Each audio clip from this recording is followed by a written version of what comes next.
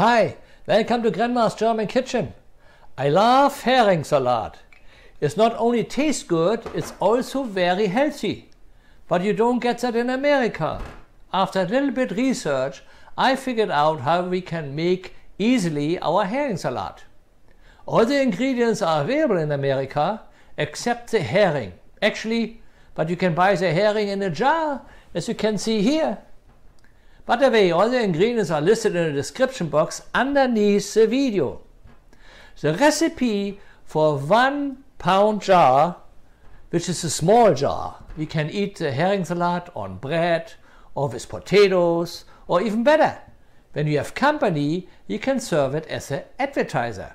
So let me show you how easy we can make the healthy herring salad.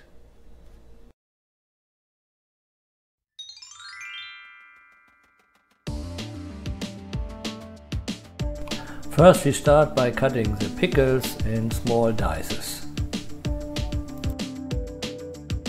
You can use the onions from the jar, but if you don't have them or you don't have enough, you can use fresh onions. So if you cut the fresh onions, make sure you cut them very, very small.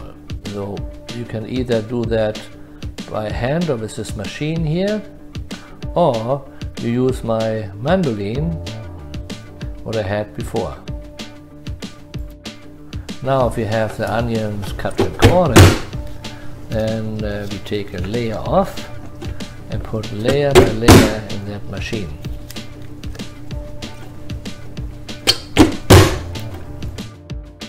You can do, you take one or two beetroots and cook them for 45 minutes and then you can take easily uh, the peel off and cut them in dices. So I don't have the time for that, so I take the beets out the can. The can says no preservatives, so that's not bad. Now we have a dicer like that, it's very easy to cut them in very small pieces. Now we peel an apple, normal size, four and a half ounce we need.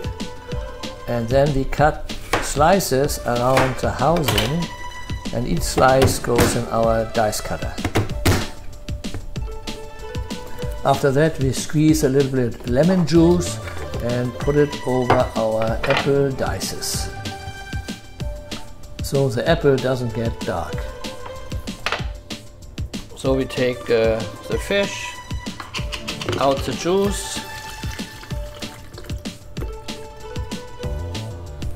Then we cut the herring in nice small pieces.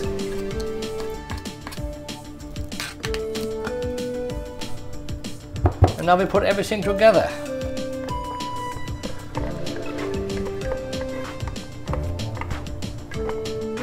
And the onions. And the pickles. And the beets.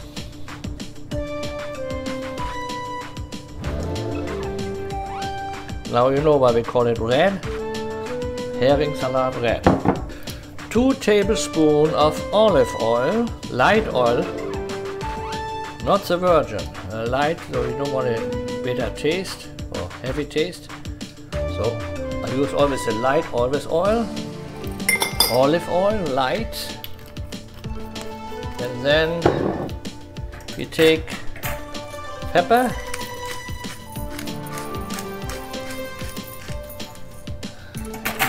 and salt.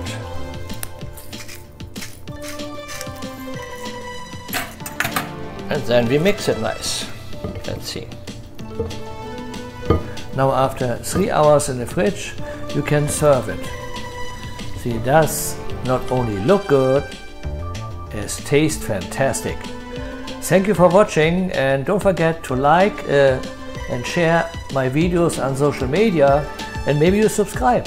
So thank you very much. Have a great day. Bye bye.